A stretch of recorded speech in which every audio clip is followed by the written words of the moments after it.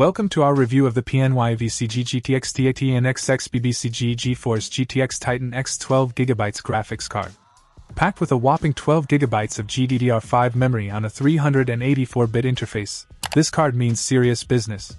With a base clock of 1000 MHz and a boost clock of 1075 MHz, coupled with a memory clock of 7000 MHz, you're getting top tier performance for your gaming needs.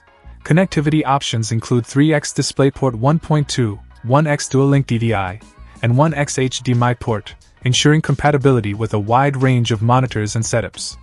The inclusion of DirectX 12, OpenGL 4.3, and OpenCL means you're future-proofed for the latest gaming experiences.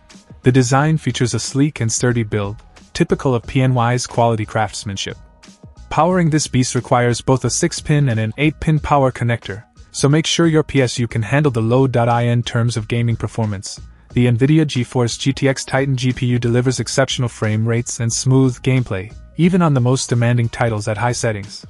Whether you're into AAA gaming, content creation, or VR experiences, this card won't disappoint. However, it's worth noting that this level of performance comes at a premium price point. While it's undoubtedly an investment, if you're serious about gaming and want the best of the best, the PNY GeForce GTX Titan X is well worth considering.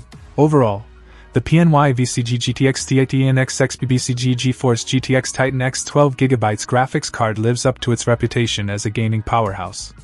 If you're looking for uncompromising performance and future proofing, this card is a solid choice.